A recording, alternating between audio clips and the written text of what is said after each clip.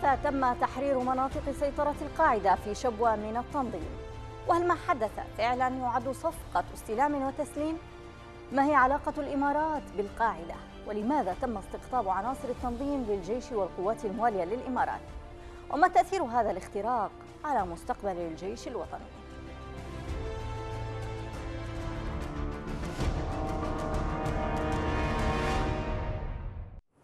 أهلا بكم تقرير حديث صادر عن وكالة أسوشيتد بريس يكشف علاقة الإمارات بالقاعدة في اليمن. التقرير اتهم التحالف العربي بإبرام اتفاقات سرية مع تنظيم القاعدة وأن أموالا دفعت لقيادات التنظيم مقابل خروجه وعناصره من مناطق سيطروا من مناطق سيطروا عليها في شبوة وأبين. غير أن ما هو أخطر من ذلك هو قيام الإمارات بتجنيد عناصر ومقاتلي ضمن القوات الموالية لها في شبوة وتعز وعدد من المناطق اليمنية ما هو موقف الحكومة؟ وإذا كانت الإمارات الآن باتت راعية للقاعدة وصاحبة سجون سرية وجرائم تعذيب يبرز السؤال الأكثر أهمية في المشهد بمن استعان اليمن في حربه ضد الانقلاب معلومات مثيرة للجدل يكشفها تقرير لوكالة أسوشيتد بريس الأمريكية. التقرير كشف عن صفقة سرية قام بها التحالف مع مقاتلي القاعدة في شبوة لانسحابهم من عدد من المحافظات الجنوبية والشرقية نظير مبالغ مالية. بل والأدهى من ذلك هو تجنيد مئات من عناصر التنظيم في قوات النخبة الشبوانية. أصبح عناصر تنظيم القاعدة جزءا من القوات الموالية للإمارات في اليمن. الاتفاق الذي شملته صفقة انسحاب القاعدة من أبين وشبوة وحضرموت يقضي بأن يدفع لهم مبالغ مالية مقابل انسحابهم من المدن. لكن الأمر تجاوز ذلك فعدد من أمراء الحرب من تنظيم القاعدة يتلقون دعما مباشرا من أبو ظبي. أبو العباس وعلى الرغم من وضعه على القائمة الأمريكية للإرهاب إلا أنه لا يزال يتلقى دعما ماليا إماراتيا. يقول مسؤول أمني سابق في تعز للوكالة الأمريكية. إن قوات أبو العباس في تعز هاجمت مقر الأمن في المدينة وأطلقت سراح عدد من المشتبه بهم من القاعدة. وقال الضابط إنه أبلغ التحالف بالهجوم لكنه يفاجأ بعد ذلك بأنه تم إعطاء أبو العباس أربعين مركبة وأن لدى قادة القاعدة عربات مدرعة تعطى لهم من قبل قوات التحالف في حين لا يملك قادة الأمن مثل هذه المركبات. يغيب موقف الحكومة الشرعية مما يحدث على أراضيها رغم أن التحالفات بين الإمارات وتنظيم القاعدة لم تعد خافية للعيان خصوصا وأن الإمارات لا تزال تدعم قيادات وأفرادا متهمين بالإرهاب. ووسط تساؤلات حول ما إذا كان قد مورس ضد الحكومة ضغوطات لوضع أبو العباس وأمثاله في مناصب عسكرية. تظل التحذيرات مستمرة من مخاطر الدفع بعناصر القاعدة إلى خطوط المقاومة ومحاولة تشويهها بل يتجاوز الخطر المعركة إلى تفخيخ الجيش الوطني بعناصر التنظيم الإرهابي. أهلا بكم من جديد مشاهدينا الكرام ولمناقشة هذه الحلقة سيكون معنا هنا في الاستوديو الصحفي محمد الأحمدي وسينضم معه آخرون عبر الهاتف. مساء الخير أستاذ محمد. مساء الخيرات لك اخت اسيا أهلا بك معنا بالتأكيد تابعت التقرير الذي نشرته وكالة اسوشيتد بريس حول صفقات أبرمت بين التحالف آه، والقاعدة بداية ما هو تعليقك الأول على هذا التقرير؟ مساء الخير لك والمشاهدين في الحقيقة التقرير يسلط الضوء على جانب من التعقيدات الكبيرة في الملف اليمني نعم. وإن كان ينطوي على بعض المغالطات فيما يتعلق باتهام الجيش الوطني بأنه يضم آه، في صفوفه عناصر عفوا من آه، عناصر من تنظيم القاعدة أو ما أشبه ذلك. وفي نفس الوقت أيضا التقرير يحاول الخلط بين نضالات اليمنيين آه، الكبيرة يعني وضد ميليشيا الحوثيين الانقلابية وضد المشروع الإيراني في اليمن. وبين الحرب التي آه، كان آه، بدأت منذ وقت مبكر حتى قبل الانقلاب على الإجماع الوطني وعلى السلطة وقبل اجتياح الميليشيا الحوثية لليمن.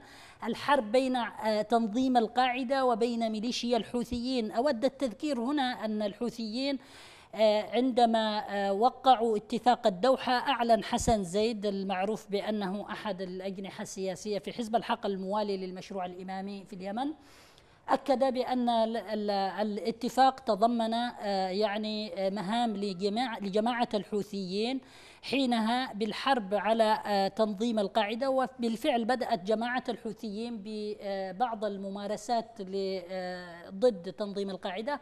وردت القاعدة بهجوم استهدف آه، يعني المرجع الحوثي بدر الدين الحوثي ثم في اليوم التالي أو في موكب التشييع استهدفت موكب التشييع إذا هناك حرب وهي جزء من الحرب الطائفية نعم. التي أذكتها السياسات الأمريكية في المنطقة ما بين القاعدة وما بين الحوثيين نعم. وليست قبل أن ندخل في آه، مواضيع ما قبل ذلك يعني أنت ترى أن هناك خلط للأوراق وأن هناك آه، مغالطات آه، وردت في التقرير. هل تنفي يعني وجود أو يعني آه، تقول بأنه لا يوجد صفقات أبرمت فعلا بين الإمارات وعناصر؟ لا أنفي بل أود التأكيد أن أطرافا كثيرة على المستوى الإقليمي والدولي لديها يعني حسابات معينة وتستثمر في نعم آه، نعم. أين ستكمن المغالطات إذا كنت لا تنفي يعني هي آه، ربما هذا ليس خطأ التقرير أن يكون هناك عناصر آه، من القاعدة يعني منضوين مع الجيش الوطني هذا خطأ من تسببوا بذلك أود التوضيح مرة نعم. أخرى نعم. أنه الخلط في مسألة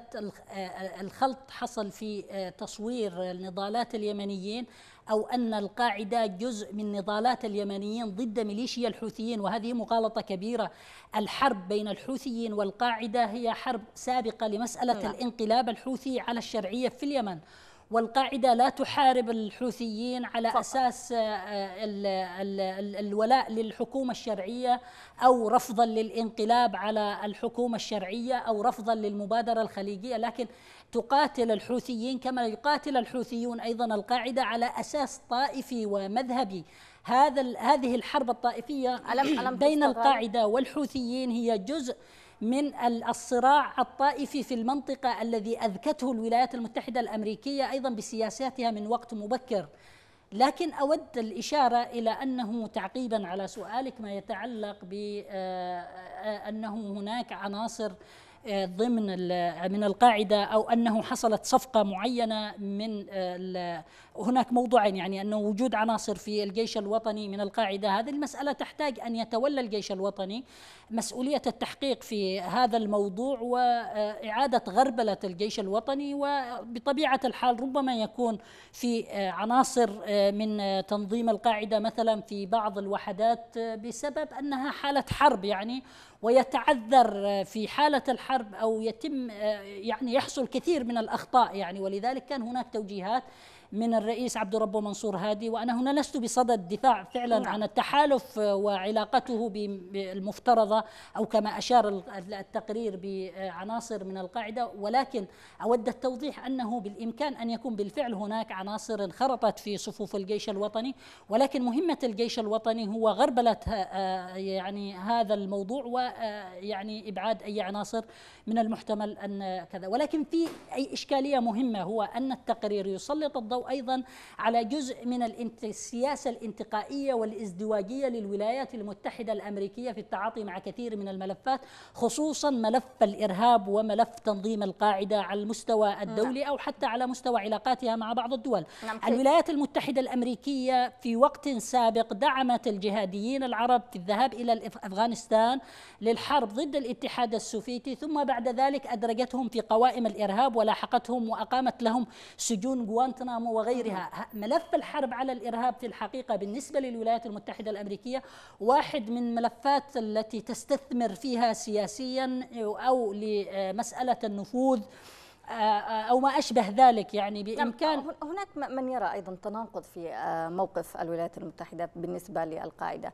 يعني من جهة ربما هي على علم بهذه الصفقات التي أبرمت خاصة أنه عند يعني التحقق من التقرير تجد أنه فعلا تم الانسحاب وجماعات خرجت بأعداد مهولة. فتساءل الجميع أين طائرة بدون طيار؟ وهي تشاهد هذا الجمع الغفير بالخروج بمعداتهم وأسلحتهم الثقيلة. الثقيلة وكذلك آه، طيران التحالف. من جهة أخرى هي آه، تضرب آه، بطيران دون طيار وأيضا تدعي أنها تحارب الإرهاب. فما هي فعلا آه، الإرادة الأمريكية في مجال الملف آه، ملف الإرهاب في اليمن؟ هي تستثمر في الحرب على الإرهاب كما أشرت قبل قليل الولايات المتحدة الأمريكية اليوم مثلا على سبيل المثال تتحاور مع جماعة طالبان في أفغانستان مع حركة طالبان وهناك حوارات ومفاوضات وفي نفس الوقت ما تزال تخوض حرب ضد حركة طالبان منذ وقت مبكر. ولكن أود الإشارة أيضا إلى أن انسحاب جماعة القاعدة أو عناصر القاعدة من بعض المدن آه، قد تكون أيضا بالنظر إلى أن آه، تبعات آه، الدفاع عناصر القاعدة أو استماتتهم في السيطرة على مدينة ما قد يكون له تكلفة يعني كبيرة مدنية على على سبيل المدنية. يعني مثلا عندما كانت كان تنظيم القاعدة يسيطر على زنجبار وجعار كان هناك حرب شرسة ودمرت المدينة المدينتين بشكل واسع ودفع المدنيون ثمنا باهظا ل آه، آه، يعني آه، استماتة التنظيم في البقاء والسيطرة في الموصل على سبيل المثال في العراق دمرت بشكل كبير بسبب تمسك عناصر داعش في السيطرة والبقاء داخل المدينة بينما آه، قد يحسب أيضا للتحالف العربي آه، نجاحه في تجنيب هذه المدن آه، ويلات الدمار والحرب بالانسحاب ولكن يبقى السؤال الأهم هو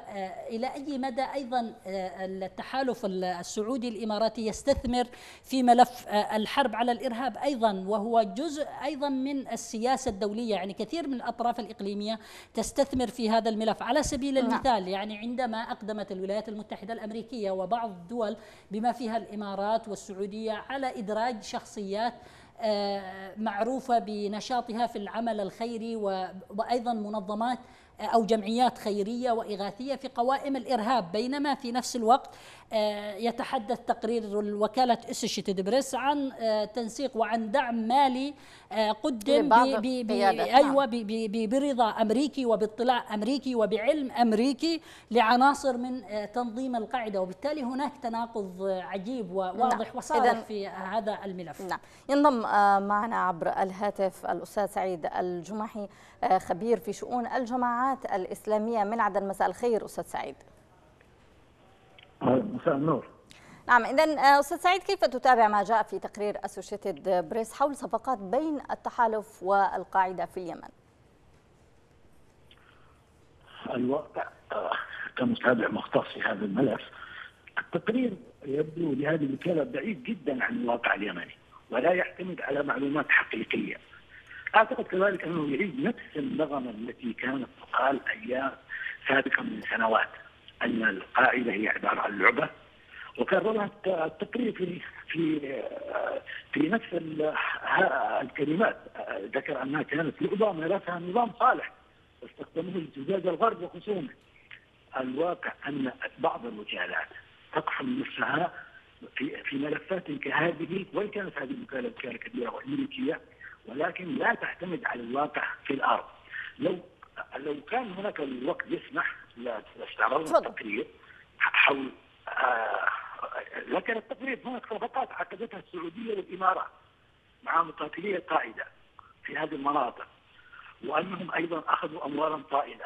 الواقع يقول أن حال تنظيم القاعدة كان في المكلا يتحصلون على أموال طائلة من الميناء وأموال طائلة أيضا من عائدات النفط فهم ليسوا بحاجة أن تعطيهم الإمارات ولا السعودية. ما كانوا يتحصلون عليه أكثر بكثير وهذا تناقض في التقرير. واقعهم أن لديهم أموال كثيرة. ربما يكون حفاظا على هذه الأموال هم انسحبوا لكن التقرير يقول أن الأموال منحت لهم من السعودية والإمارات. السعودية أكثر دولة هي آه، تعرضت واحيقت بنار الإرهاب ونالها الكثير من الخسائر. لا يمكن أن نصدق أن تكون هذه الدولة بالفعل تدعم هذه الجماعات وتاريخها أيضا وما تمارسه أيضا في التعامل بصلاحيات خاصه مع الإرهابيين ونجاحات شهد شهد لها أيضا الغرب. الغريب من التقرير يقول أنهم أيضا آه، السعودية والإمارات آه، سمحوا لهم بالالتحاق بالميليشيات التابعة للتحالف. هذا أمر غريب. هم يقصدون الميليشيات ما هي؟ الميليشيات هذه عبارة عن مقاومة. هذه المقاومة حررت البلاد ومعترف بها رسميا. فكيف يعني يطلق عليها ميليشيات؟ وللأسف أيضا حتى قناه خليج تطلق على أفهم من كلامك أستاذ سعيد يعني أنك تنفي ما جاء في هذا التقرير وتجد أنه لا يعطي حقائق. نعم أنا حسب علمي ومتابعاتي و كوني مختصا بالفعل بهذا بهذا بهذا الأمر لا أجد في التقرير يعني حتى جزئية ما عدا أنهم آه ذكروا أن ملف القاعده في اليمن معقد وأن استخدامه ذاك لعبة. صحيح هذه الجملة صحيحة ولكن سخروا هذه اللعبة لشيء آخر. هم يقولوا أن الامارات آه فهمت أن ملف القاعدة عبارة عن لعبة فبالتالي استثمروا هذه اللعبة. ما هذا الإسعاف يعني لكن نعم اسمح لي أستاذ سعيد يعني لنتحدث عما أوردته بأن يعني أنت تجد أنه خاصة في المكلا أنه كان هناك ربما لديهم أموال أكثر مما ذكرت في التقرير فلما نعم سيستلمون لكن أيضا السؤال الملح والذي ربما تساءلناه سابقا حين أعلن تحرير حضرموت من القاعدة وشبوه أيضا أين تبخرت هذه القاعدة؟ فجأة في يوم ونصف انتهى وجودها وهي التي كانت تسيطر سيطرة تامة على حضرموت وعلى عائدات النفط وعلى الضرائب وعلى كل شيء ربما يعني مسكت مفاصل الدولة هناك تماما فأين ذهبوا؟ ألا, ألا يستدعينا ذلك للسؤال إلى أنه فعلا ربما تم إبرام صفقة ما أيضا ما ورد في الحديث عن أبي العباس والذي ربما لم يأتي التقرير بجديد. الجميع يعلم أن أبو العباس مدعوم من قبل الإمارات وأبو العباس يعرف تماما توجهه. الجهات المدعومة من الإمارات معروف حتى الحكومة الرسمية والشرعية مدعومة من الإمارات. دعم الإمارات في اليمن الآن والسعودية لم يصبح يعني مشكلة. هو شرعي. محليا ودوليا ليست فيه مشكلة، أقول لكم على مستوى التقرير. التقرير أنت تذكري الآن أن أين تبخروا هؤلاء؟ هذا هو حال القاعدة، تنظيم القاعدة في اليمن حالما يتم مواجهته ولو لفترة بسيطة مواجهات حقيقية تمت أيام صالح نفسه مواجهات حقيقية للقاعده فلم نقل تبخرت وإنما يعني توالت ذهبت إلى الجبال وذهبت إلى الشعاب، القاعدة لا تمتلك قدرة على البقاء، ليست لها حاضنة باتت خاصه في الفترة الأخيرة. القاعدة أيضا في أيام في بداية أيام الرئيس هادي وجدت قوة مواجهة حقيقية فانحسرت. أنا أعتقد بل أجزم بأن القاعدة لم يتم مواجهتها. مواجهة حقيقية كاملة وبجدية كاملة بمعنى الكلمة جدية. ألا يتم التعامل معها بمراوغة اذا يعني سواء أيام صالح أو أيام الإمارات يعني أن لا توجد مواجهة حقيقية. هناك أيضا من يطرح بأنه لا يوجد قاعدة حقيقية في اليمن وإنما هي قاعدة مصالح تظهر وقت ما يراد لها وتختفي وقت ما يراد. هذا هذا الأمر لا توجد قاعدة حقيقية. نفيته منذ سنوات. الواقع يقول أن هناك دماء مات على يد القاعدة وتنظيم القاعدة على مراحل سنوات عدة. خاصة منذ 2009 حالما اعلن التنظيم له كيانا حقيقيا وواجه القوات المسلحة وواجه الجيل الامنيه وقتل المئات بل ممكن ان يكون بالآلاف هؤلاء من قتلهم؟ قتلهم من قتلهم؟ هؤلاء قتلهم القاعدة ولديهم أيضا بيانات تؤكد وتتبنى. هنا أشير إلى أن تقرير الوكاله يقول بأن هناك اغتيالات لم تتوقف على مدى الثلاث السنوات الماضية. يقصد الآن لم تتوقف الاغتيالات والتصفيات لكل مناه ضد الإمارات من التغيير. بالفعل لم تتوقف الاغتيالات والتصفيات لكن التغيير بانه لكل مناهضة للإمارات من سياسيين وعسكريين وناشطين ومدنيين، هناك تغيير أعتقد يعني والانحناء بالتقرير من المهنية إلى شعاب أخرى. ويقول أن التنظيم تبنى تبنى هذه الاغتيالات للسياسيين والعسكريين والناشطين. وحسب متابعتي ليس هناك أي بيان رسمي للتنظيم يتبنى مقتل سياسي. أو يتبنى مقتل مدني، من يقتل المدنيين أو من يقتل أئمة المساجد هذه جهات ليست القاعدة، القاعدة هي أرفع من هذه الجهات. صحيح القاعدة إرهابية والنقل فيها ما, يعني ما يقال أكثر مما يقال نعم. لكن لا تمارس القاعدة انصافا لا تمارس القاعدة لها منهجية ولديها خلفية فكرية لا تحيد عنها نعم، إرهابيون حقيقة ولكن لديهم لديهم آه، آه، أهداف محددة أعتقد أن هذا نعم اذا يعني، ان ان اهماله أكثر مما لأنه لا يستحق حتى آه، اننا نناقشه ونضيع وقتنا في المناقشة. نعم وص- وصلت فكرتك أستاذ سعيد الجمحي. شكرا جزيلا لك الخبير في شؤون الجماعات الإسلامية. كنت معنا عبر الهاتف من عدن. عودة إليك آه، أستاذ آه، محمد. أستاذ محمد يعني آه، يضع الأستاذ سعيد أن هذا التقرير لا يعتمد على حقائق والقاعدة ليست آم، يعني لم تكن بحاجة لأي صفقة كانت آه، الإيرادات والعائدات لديها. ولكن أيضا التقرير وضع بعض الشهود بعض الأدلة.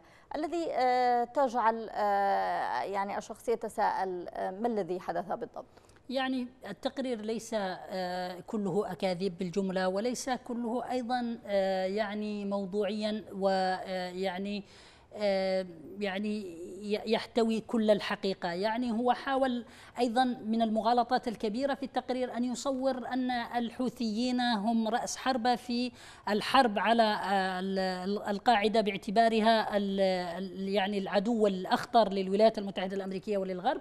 وإلى جانب آه، القاعدة التحالف العربي والشعب اليمني والذي يناضل ضد ميليشيا الحوثيين، يعني هذه مغالطة كبيرة وخطيرة في نفس الوقت.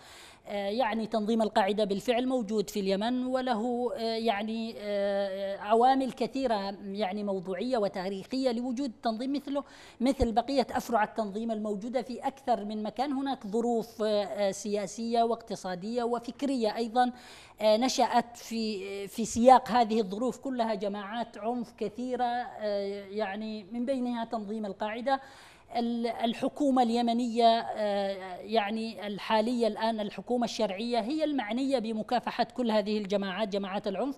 يجب على ال- الجميع أن يتوجه يعني الفاعلين الإقليميين والدوليين لدعم جهود الحكومة اليمنية وأجهزتها ماذا عن الأمنية. آه، أبو العباس أستاذ محمد؟ يعني يعلم الجميع أنه يفترض بجماعة أنها تنضوي تحت اللواء آه، 35 والذي يعد آه، ضمن آه، الجيش الوطني. مدعوم تماما من الإمارات. موضوع على آه، قائمة الإرهاب.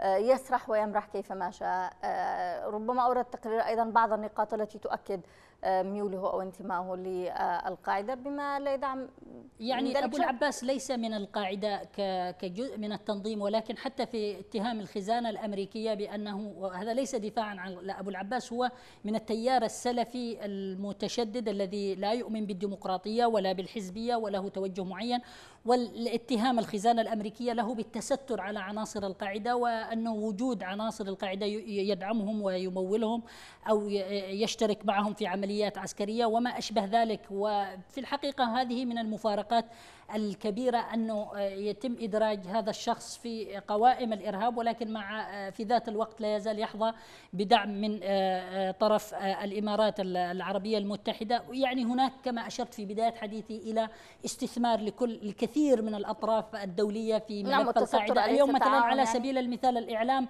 الإعلام حزب الله والإعلام الإيراني آه، يعني سعيد بالتقرير. سعيد بالتقرير الاسوشيتد دعني- بريس بينما يعرف الجميع علاقة إيران أيضا باستضافة كبار قادة تنظيم القاعدة في وقت من الأوقات وحتى قيادات تنظيم القاعدة الذين وصلوا إلى اليمن. يعرف الكثير أنهم كانوا آه، في الأصل في إيران وتم تسليمهم آه، بعضهم عن طريق الإمارات ثم إلى اليمن.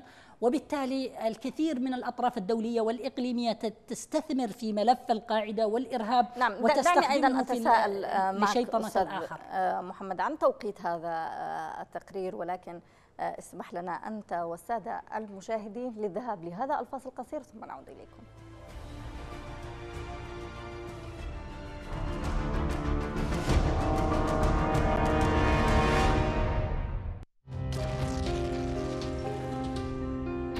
بلد أنهكته الميليشيا بالحرب.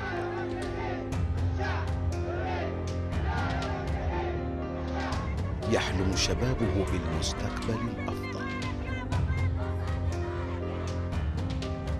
في مقدمة الصفوف لتحيا الأجيال من بعدهم. البعض يعيش الفرحة والآخر تخلد ذكراه.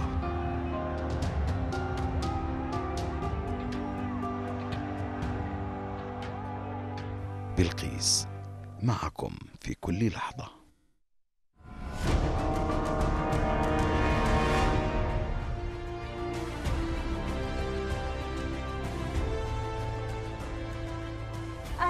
جديد مشاهدينا الكرام واسمح لي آه، أستاذ محمد آه، أن تنضم معنا أيضا عبر الهاتف الأستاذة ميساء شجاع الدين الكاتبة والباحثة من القاهرة. مساء الخير أستاذة ميساء.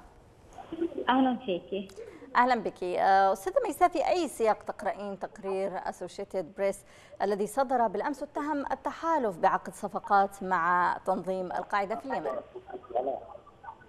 هو التقرير أنا قريته آه يعني ما فهمش إيش المقصود بأي سياق هو في الأخير تحقيق استقصائي صحفي آه وهو عادة الحركات السلفية أو الجماعات السلفية اللي بتتعامل معها الإمارات السعودية في كثير منهم مرتبطين بالقاعدة بشكل ما. مه. فالتقرير ما اعتقد إنه خارج عن سياق الواقع اللي موجود في اليمن حاليا. وال- وال- والوكالة هي أصلا هي نفسها الوكالة اللي أصدرت تقرير السجون السرية قبل كده عن الإمارات واللي كشفت موضوع السجون السرية اللي بتديرها الإمارات في الجنوب. فبالتالي أنا أتصور أنه هو تحقيق است- استقصائي ومجهود صحفي لوكالة كبيرة هذا بنظر لها بهذا السياق. نعم لكن يعني كان ضيفنا عبر الهاتف الأستاذ سعيد الجمحي يرى أن هذا التقرير لا يعتمد على حقائق ولا يعتمد على الواقع وإنما يكرر نفس النغمة آه، السابقة وجماعة القاعدة ووجود جماعة القاعدة آه، يعني هو لا ينفي وجود آه، القاعدة ولكن يعني ربما ينفي الارتباط بين الإمارات والقاعدة خاصة في المكلا والإمارات ما رأيك؟ عفوا في المكلا ما- حضرموت. هذا صحيح. أنا أعتقد أن القاعدة موجودة في اليمن. السلفيين الجهاديين الجماعات السلفية الجهادية كثير منها مرتبط بالقاعدة. كان واضح أنه خروجهم من المكلا كان تم بالصفقة. يعني أتصور أن التقرير مقارب كثير للواقع. ما ما أشوفش أنه هو غير مقارب للواقع. يعني كيف القاعدة مش موجودة في اليمن؟ القاعدة موجودة في اليمن واليمنيين كانوا مشاركين في القاعدة بشكل فعال من حرب أفغانستان وهم كانوا من لا هو لم ينفي وجودها أستاذة ميسه وإنما ربما آه، نفى علاقتها بالإمارات خاصة وهو يتحدث آه، أن آه، مثلا وجودهم في المكلا كانوا يعني يستلمون من عائدات النفط بأيديهم الكثير من أمور الدولة بأيديهم. فلما يعني آه، ربما كان لديهم الأموال أكثر مما ذكر في آه، الصفقة. هو ينفي ربما العلاقة ويتحدث أنه يعني يبرر سر اختفائها تلك آه، الفترة بأنه لم يتم مواجهة القاعدة مواجهة حقيقية. هي نعم. الإمارات علاقتها بال- بالحركات الدينيه المتطرفه السلفيه وال- والقاعدة ستكون أقوى من السعودية. بسبب أن الإمارات لا تميل للتعامل مع المجتمع مع وجهات الاجتماعية. يعني لا تميل للتعامل مع المجتمع الحركات السياسية، السعودية لا زال لها إرث يعني تتعامل مع شيوخ قبائل مع آه، ممكن تتعامل حتى مع أطراف سياسية أكثر من الإمارات. لكن الإمارات أكثر تعاملها مع الأطراف الدينية، بالعكس يعني هي يمكن بتتعامل معها كاطراف هي يعني أقدر على التحكم فيها. نعم. فالإمارات أنا مش عارفة ليش هو بيحاول يبرئ من ساحة الإمارات لكن هي لا أعتقد إنها حالة ساحتها بريئة من هذه المسألة. نعم اذا كيف تبررين أيضا آه، تدخل آه، أو يعني آه، تورط الإمارات في هذا الملف وهي التي تعد شريك حقيقي للولايات المتحدة الأمريكية في محاربة الإرهاب وتدعي ذلك أيضا والغريب أكثر أن التقرير ذكر أن ربما أن هناك اطلاع من قبل الولايات المتحدة على الصفقة التي أبرمت ما الذي يحدث بالضبط؟ هل يحاربون الإرهاب أم يتعاونون معه؟ أم أنه ملف يشتغل وفق السياسات الدولية ووفق مصالح الدول؟ هو الآن في عملية توظيف لهذه الجماعات في الحرب ال- ما بين السنة والشيعة، في في محاولة لاغراق المنطقة. في هذا الصراع لتمرير أشياء أخرى لصالح إسرائيل في المنطقة. فأمريكا لصالحها استمرار هذا الصراع وهي لصالحها أنها تدعم جميع الأطراف انهم يظلوا أقوياء أو يظلوا يعني في مستوى من القوة إنهم قادرين يستمروا في هذه المعركة. فهي ليس من مصلحتها القضاء على القاعدة خصوصا إن القاعدة حاليا هي لا تشكل خطر على الغرب هي تشكل بس هي الآن صارت صارت في حرب الشيعة. يعني هي لم تعد طرف يهددها الغرب. يعني فبالتالي أمريكا إذا التقرير بيقول إن أمريكا في شيء من التواطؤ منها للنشاط القاعدة في اليمن ضد الحوثيين غير مسألة أنه في أولويات. يعني هو التقرير أشار ما, يش... كأنه أولوية أنه في أولويات أنه في بعض اليمنيين بينظروا أن الأولوية الآن محاربة الحوثي ولو حتى التحالف مع الشيطان اللي هو القاعدة. نعم. لكن أنا غير المسألة الأولويات أعتقد إن أمريكا الآن هي بتنظر إنه هو هذا الصراع طائفي من مصلحتها انه يستمر في المنطقة لتمرير آه، مسائل أخرى لصالحها. أنا أتصور إن هذه الأمور هي مسائل بتمر لصالح اسرائيل نعم. لصالح هيمنتها داخل. إذا ابقي معنا أستاذة آه، ميساء. آه، أعود إليك أستاذ محمد للتعليق على حديث الأستاذة ميساء. بمسألة خصوصا يعني استخدام هذا الملف وتواطؤ أمريكا ربما استخدام هذه الأطراف لإذكاء الصراع بين السنة والشيعة وربما هي الآن تستخدم آه، القاعدة كجزء آه، من هذا الصراع نعم أشرت أخت آسيا في بداية حديثي صحيح. في الحلقة فعلا إلى أن الولايات المتحدة الأمريكية كجزء من سياساتها في إذكاء الصراع الطائفي في آه، المنطقة العربية التقرير يكشف جانبا من هذه السياسة ازدواجية في عندما تعلن في دائما أن أولوياتها في هو الحرب على الإرهاب بينما يفصح مثل هذا التقرير عن تواطؤ وعلم واطلاع للولايات المتحدة الأمريكية عن دعم مفترض من دولتين تعتبران حليفتان للولايات المتحدة في الحرب على الإرهاب. لتنظيم القاعدة أو لعناصر من تنظيم القاعدة. وبالتالي أعتقد أنه واضح جدا هناك نوع من التوظيف السياسي لهذا الملف.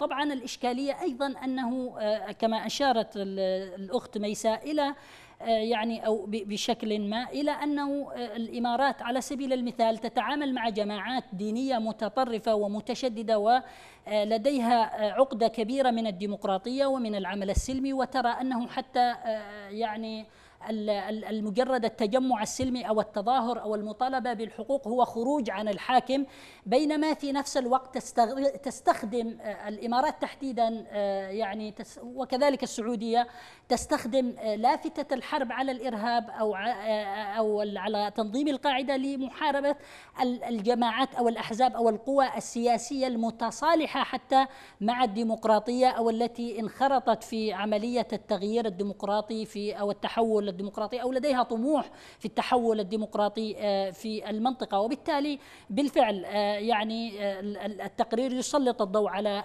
هذه الجوانب كلها. وهو في نفس الوقت يكشف جانب من التعقيدات الكبيرة في الملف اليمني. هناك في الحقيقة أيضا حتى لدى كثير من الباحثين عدم إدراك للفروقات الكبيرة بين الجماعات الدينية سواء السلفية فيما بينها بمختلف مدارسها. هناك تيارات سلفية أصبحت متصالحة على سبيل المثال مع الديمقراطية وانخرطت نعم. في مقاومة آه، مشروع الحوثي ولديها آه، يعني ولاء للدولة وللقانون وللمفاهيم الحديثة ولكن آه، أيضا بالمقابل هناك جماعات سلفية لا تزال ترى أن مجرد الحديث عن أو المعارضة السياسية للحاكم هو خروج عن ولي الأمر ويعتبر يعني يجوز لولي الأمر قمع هذا الخروج وبالتالي تدعم الانقلابات العسكرية ضد أي نعم. حكومه شرعية جاءت بموجب يعني عملية ديمقراطية أو انتخابات وشاهدنا هذا كثيرا في المنطقة العربية اذا هناك إشكالية كبيرة أيضا حتى في مسألة نعم فهم الفروقات الجوهرية بين الجماعات الدينية والمدارس الفكرية أعود لي الأستاذة ميساء. أستاذة ميساء برأيك هل يمكن أن يغير هذا التقرير من وجهات نظر بعض الدول تجاه التحالف آه، ممثلا بالإمارات والسعودية؟ يعني مصالح الدول هي بتحددها قضايا كثيرة مش مجرد تقرير صحفي. يعني في النهاية المسائل معقدة. يعني في النهاية هذا تقرير صحفي في مصالح في قضايا أخرى يعني. فلا ما أعتقد. يعني لا تعطيه حجم أكبر من حجمه. يعني في الاخير هو تقرير صحفي.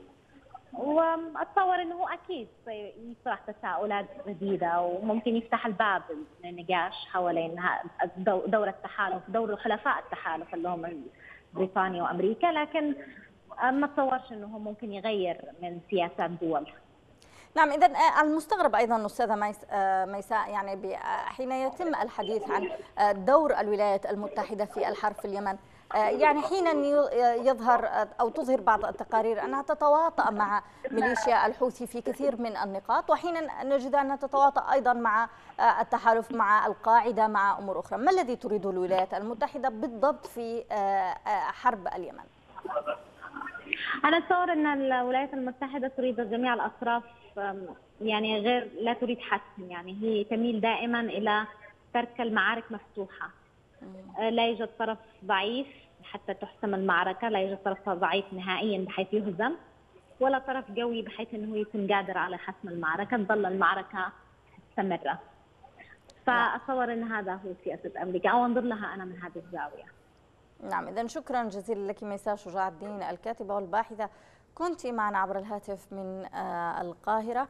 عودة إليك آه، أستاذ آه، محمد. إذا يعني لو تحدثنا يعني أن يعني أو هناك مراقبون يقولون أن الوضع في اليمن يبدو وكأن الكل يحارب القاعدة والكل في نفس الوقت له علاقة بهذه القاعدة بشكل أو بآخر سواء أطراف محلية إقليمية دولية هل يمكن ربط آه، آه، الخيوط يعني في الحقيقة أخت آسيا دائما حالة الفوضى في البلدان هي بيئة مناسبة لنشوء فراغات كبيرة. آه، غياب وضعف الدولة وسيادة القانون ينشئ فراغات وهذه الفراغات تشكل بيئة خصبة لجماعات العنف والجماعات المتطرفة التي تبني مشاريعها ودولها على أنقاض الدولة الوطنية. وبالتالي جزء من السبب في يعني على سبيل المثال في انتفاشة ميليشيا الحوثيين في الشمال وتقويضها للدولة ولأسس السلم الاجتماعي والتعايش السلمي في المجتمع في اليمن وتمزيق النسيج الوطني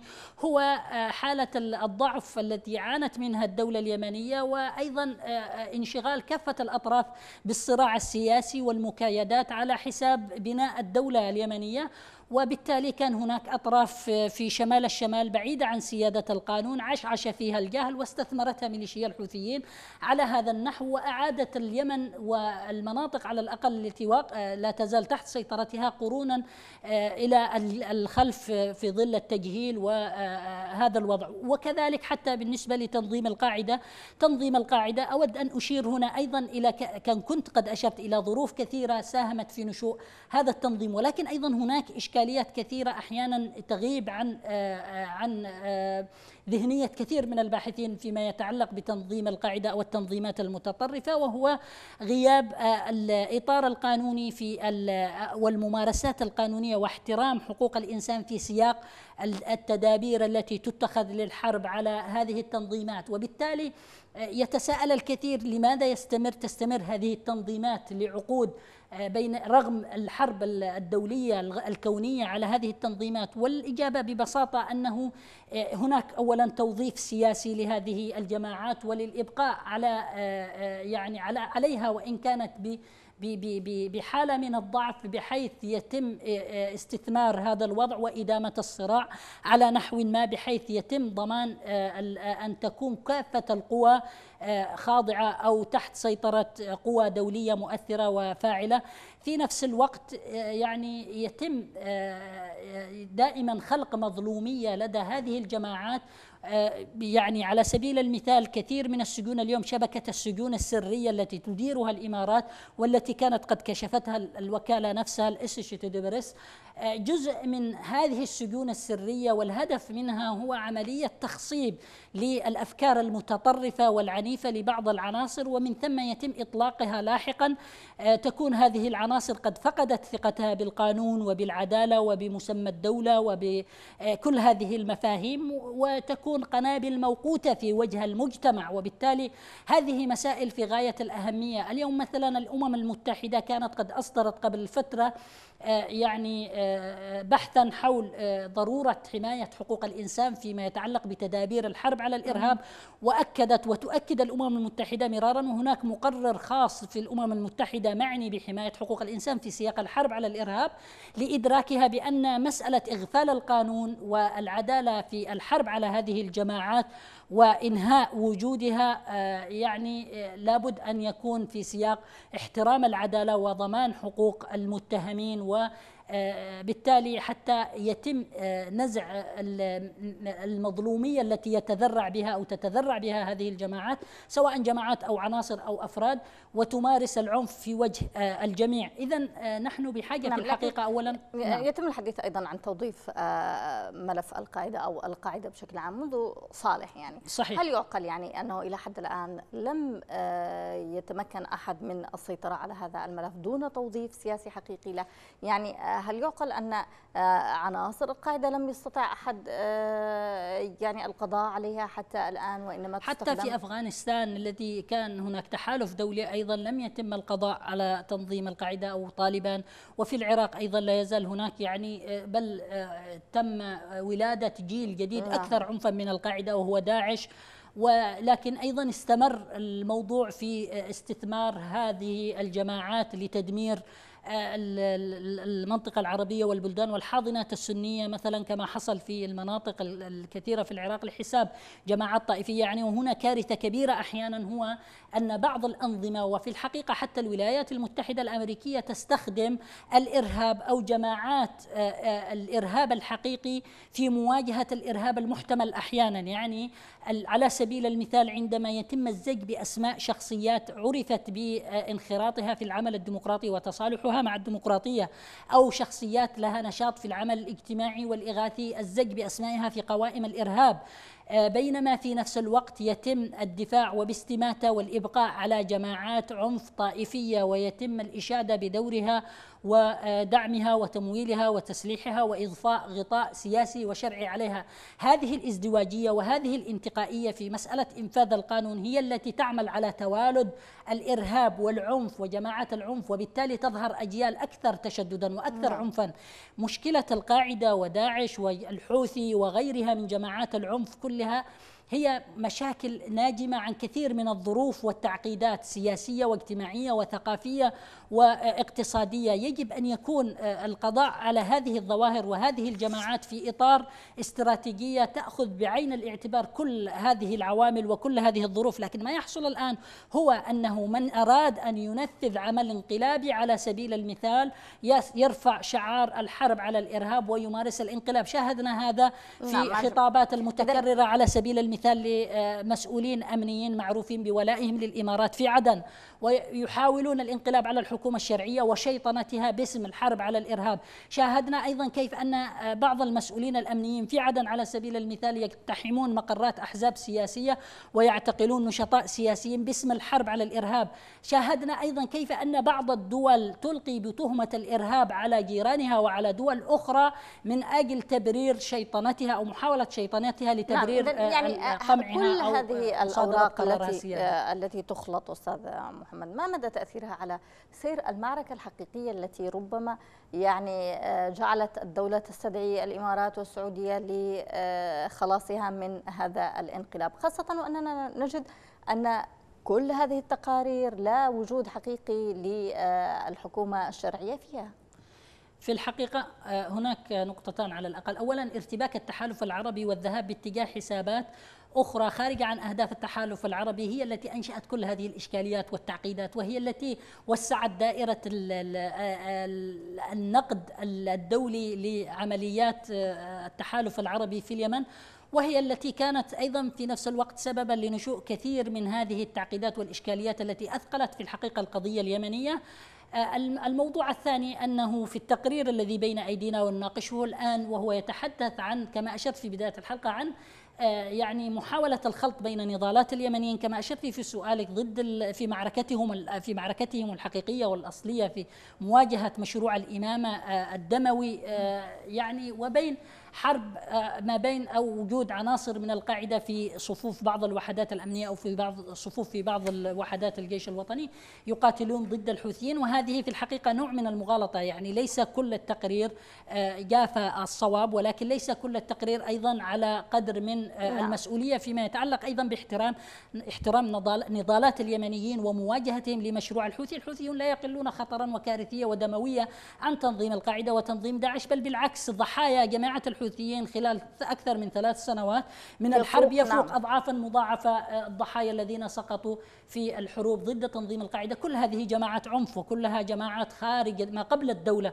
والجميع معني بضرورة تضافر الجهود للتوجه لدعم مؤسسات الدولة اليمنية وعلى المحيط الإقليمي والدولي أن يدعم ويساند طموحات اليمنيين في بناء دولة نعم. قوية ذات يعني سيادة قانون وحكم رشيد تنجح في القضاء على كل هذه النتوءات وكل هذه الجماعات المدمرة. نعم إذا شكرا جزيلا لك الصحفي محمد الأحمدي. كنت معنا في هذه الحلقة من المساء اليمني. الشكر لكم أيضا مشاهدينا الكرام لحسن متابعتكم. لن ألتقيكم في مساء يمني جديد. كونوا برعاية الله وأمنه.